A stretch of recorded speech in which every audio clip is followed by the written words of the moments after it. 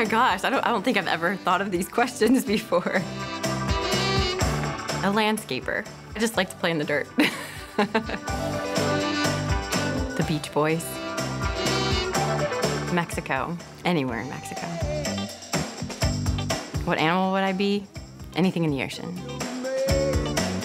The sound of music. I'm blanking on that one. I just saw the movie Coco, and I love that movie. Sandra Bullock. Shoulder pads? Make breakfast for my kids. Geta. They love Geta. Every weekend I make them Geta. I don't want to be famous. Kale?